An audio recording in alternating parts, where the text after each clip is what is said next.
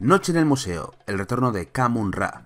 Es una especie de cuarta entrega de la saga. Ya sabéis que se cerró supuestamente en esa tercera parte. Para mí bastante decepcionante, no me gustó el cierre de personajes. Y ahora Disney Plus, que ya sabéis que lo está rescatando todo, y lo está haciendo muy mal, por cierto, pues ha presentado esta propuesta de animación. No han querido hacer una cuarta entrega en imagen real, ni gastarse el presupuesto en los actores, nada por el estilo. Han optado por una animación 2D, de las que ya no se ven, y viendo la película se nota que ha sido de muy bajo presupuesto.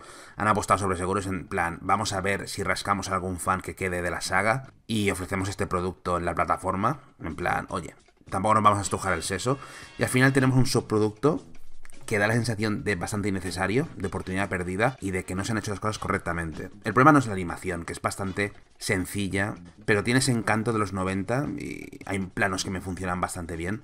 Es decir, se deja ver, no hay ningún problema con la animación. Es un acierto que se rescate a todos los personajes, algunos quedan muy relegados a un segundo plano, pero la trama es muy insulsa, muy floja. Es curioso porque la película tiene un buen arranque, que es pasar el testigo del personaje de Ben estirar a su hijo, me parece algo lógico y un buen punto de partida, pero se desaprovecha por completo en una película insulsa, que suena ya visto, que obviamente está dirigida al público infantil, pero que renuncia a contentar a los fans. Es decir, si tú, eres fan de la saga, quizás te apetezca ver a viejos conocidos y dejes pasar las carencias de un film decididamente mediocre, que no está al nivel ni de los más pequeños de la casa.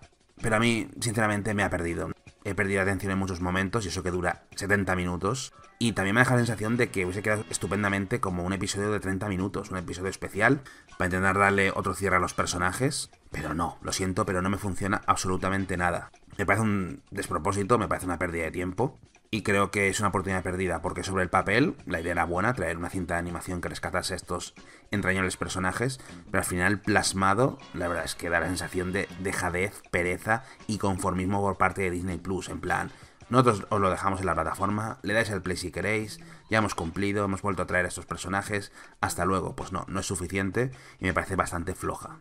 Así que nada, yo no os la recomiendo ni a los fans, me parece bastante fallida y no sé si se van a atrever con nuevas producciones, pero espero que estén más inspirados porque es muy importante presentar una buena historia que tenga sentido. Si no, sinceramente, deja a los personajes descansar porque este no es el camino.